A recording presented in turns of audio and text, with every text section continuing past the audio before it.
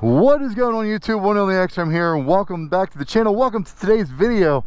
Oh boy, look what we have today. The beautiful 2021 RS 660 from Aprilia. This thing is brand spanking new. I mean, still got the temp tags. you can't get any more new than that. But we are out here at the mountain because we're going to take this up. We're going to see how it feels. I took it for a little spin already, so I'll hold those comments for later. But let's ride it for a little bit and then we're gonna obviously talk about it the seat is so squishy and comfortable oh my god this is absolutely the best seat on a motorcycle has to be it's so so comfortable and i mean outside of like uh cruise or something that's meant to be super comfortable but the seat oh my god it's nice and soft uh, it's very freaking nice what we got here we're on our first turn Man, this thing feels planted.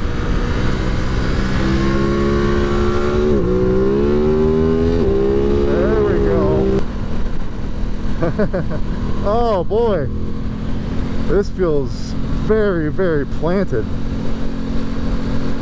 You know, it's not really all that surprising considering, you know, it's a chassis that comes from bikes like the RSV4 so here we are with the 2021 RS 660 from Aprilia. This thing feels amazing. It's so freaking windy. I'm hoping that the audio is gonna come through, but we had a blast riding this bad boy.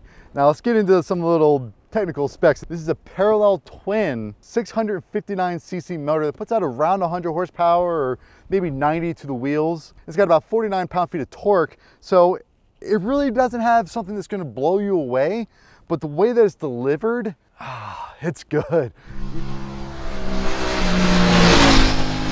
You know, the power isn't intimidating at all. You feel very, very comfortable getting around this bike and really pushing it a little bit. The cool thing about the RS660 is the torque is really in a good range for like if you're cruising around town or whatnot. You know, it comes on really, really strong at about 4,000 RPM up through 6,000. After 6,000, it really starts to scream. And you can actually kind of hear the notes of its big brother, the RSV4, in the motor because, you know, the parallel twin is actually the front half of the RSV4 V4 motor.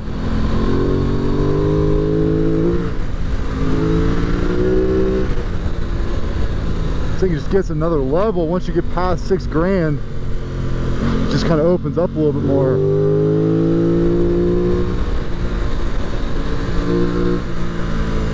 talk about the styling a little bit. You know, this got all these integrated winglets, if you will, and honestly, it gives this bike a very aggressive but beautiful profile too. If you look at the side here, you see these winglets and these look really good on this motorcycle. They don't stick out too much on the RS660. They look great. From the front, whew, the front of this motorcycle, it's gorgeous. The headlights, the little strakes that are on the front look so good. And I tell you what, I really like this paint scheme. There's a yellow. I've heard in person it looks good. In pictures, it looks god awful. I talk about bikes that as soon as you hop on them, you feel comfortable.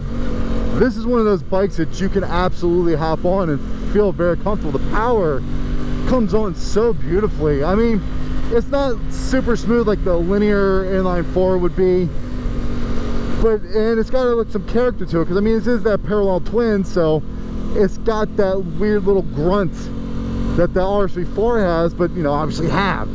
The high beams is so close to your clutch that it you just flick it on by accident. it happened to me like three times already. Now we talk about the suspension on this RS660. It has Kayaba forks. It doesn't have compression dampening, which you know, as you start to really tune this motorcycle for the track or something like that, you might want, and hopefully, you know, the higher end model of the RS60 660 when it comes out, the factory version. Hopefully it'll have Öhlins suspension, you can adjust all that stuff. But from the factory, it's a little soft, but it's not so much so that when you brake, you dive down like crazy or anything like that. It keeps the chassis very nice and very tame and really confidence inspiring. Now the RS660 is in that kind of sweet spot that doesn't really exist right now. It's not as hardcore as an R6 or a ZX6R. It's also not as soft as something like a CBR 650R or even the Ducati Super Sport. It's kind of in between where it can be fast, but it's incredibly comfortable.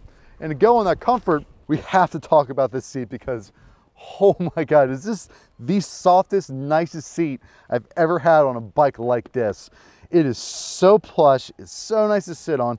The other thing it's got good tactile feel to it. Like when you actually sit down and you move around on it, say you want to lean off the bike a little more, get your butt off the seat, it holds you. Very, very, very comfortable seat. Absolutely one of the best for this type of motorcycle. So good. Now, like I said, this isn't quite as hardcore as a ZX6R and R6 because of the way these clip-ons are. They're a little raised, they're a little farther up which makes your riding position not quite as hunched over. You're kind of a little more upright. Like I said, it's that beautiful in between. The way this bike changes directions is phenomenal. It feels beautifully light, beautifully light. It just leans in and it feels like you have a tether holding you right where you need to be. Oh, and by the way, this thing has cruise control. How cool is that?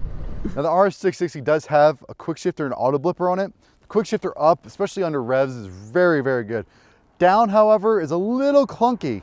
And I wonder if that's just because it's being, you know, the parallel twin, and the way that the motor firing, but for an Aprilia to have a little clunky downshift is a little surprising. It also may be because it's a newer bike. Once it gets completely broken in, the quick shifter is probably gonna be even better. I will say though, at high revs, as you rev down through the gears, it is a lot more smooth. So, you know, maybe it's just the, the rev range or what have you, but my first impression of it with the downshift is a little bit clunky for, especially for an Aprilia. Really enjoying these brakes.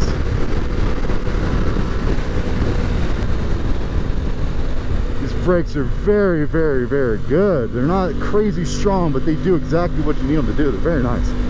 So the R660 obviously feels amazing. I've explained that already. But what really gets my attention are the electronics. I know, I know. XRAM, every bike you review now has great electronics. It's because they do. Everybody's stepping up their game and for a 600cc motorcycle to have what this bike has, very, very impressive. Let's get into the dash a little bit here. Come on, you get the beautiful Aprilia screen and then you get this ride mode. You got commute, which is obviously more for the street, less for the track, a little more forgiving. The throttle response is a little more tame go to dynamic, it's dynamic. The throttle response is a lot sharper. You know, the characteristics of the motor are more ramped up. You definitely get more punch for what you want.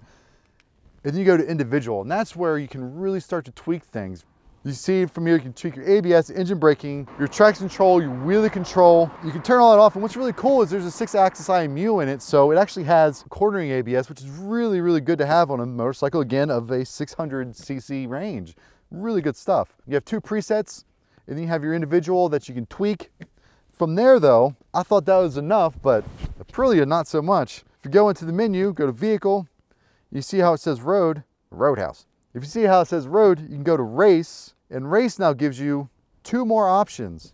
You have challenge, again, it's actually a track mode, and then you have time attack, which time attack you can also change on this. What's really cool about the R660 is you can actually turn your ABS to be front only. You can turn the rear completely off.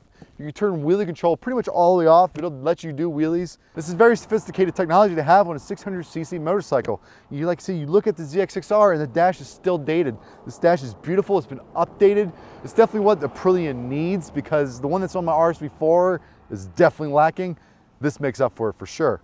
I will say with these menus and actually getting to the different settings, while commute, dynamic, and individual are easy to get into, they're not super intuitive. You gotta hold the button that's down here and that allows you to change the settings in individual. But to get into your other ones, you have to hold this button over here, go to vehicle, go to road, and then as it highlights red, you go to race, and that's where you get your other settings. The problem is going back, you actually have to hold that little right button and then like tap it in order for it to go back to your vehicle settings. So it's, it's not the most intuitive, I also think there's a lot of menus on here. While it's great, it might be a little much for the people that are looking for a 600cc motorcycle. That might be a little too advanced for them, but I'm glad this motorcycle has it. It's, uh, it's so good to see where these things are coming and where they're going to. The little motorcycle has what this has on it, imagine what the new RS4 is gonna have. It's gonna be that and then some. It's so exciting. Two things that this Aprilia has done that I've seen Yamaha do. I've also seen, you know, the MV Agustas that I review do. there's a gas gauge on it. There's actually a gas gauge, an Italian brand other than MV that actually has a gas gauge. How impressive is that? It's sad that we're to this age now where we have these beautiful dashes and there's so few that actually have a gas gauge on it. This one does. The other thing that the RS660 does really well is it now has the Aprilia MIA, which is their app. And that app can go through this engine, kind of set up kind of you know the same way the MV does, the same way the Yamaha does. We can tweak it, see what your parameters are. Not only that, but it tracks your ride. You know, again, we're riding the mountain. It'll tell you how many miles you go, and it's the fact that all these motorcycles now are doing these apps where they connect and the connectivity through the dash is really good. BMW S1000R was the only one at the time that would show your navigation on the dash, you know, aside from adventure bikes. I dig this bike. This thing, this RS660 is amazing. It feels great. It's not too much of anything. I will say, like I said, the electronics might be a little advanced for some of the people that are gonna ride this motorcycle, but I like having it. It's amazing. You're also getting that Italian brand that, you know, it's an Aprilia. It's a solid motorcycle. And it just got brought into MotoAmerica as a bike that can be raced now. So there's so many places this bike can go and I can't say enough about it. I'm blown away. It's so, so good. So I'd like to thank Aaron at Elite Guns and Ammo for allowing me to take his beautiful 2021 RS 660 out. Hit him up. I have a link down below for his website, for his Facebook page, and for his Instagram. So check him out. But what can I say about this RS 660? It's amazing. I love it.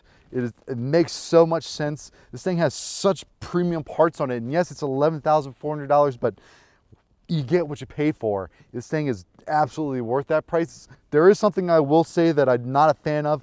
I think if we upgraded these a little bit, these plastic pieces, it look a little bit better.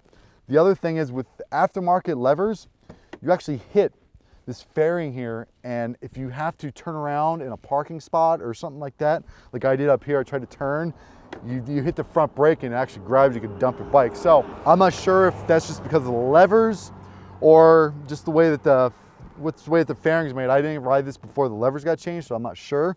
But just keep that in mind. If you do change them out, if you turn too far, you're gonna hit this and you're gonna screw yourself up. So be careful.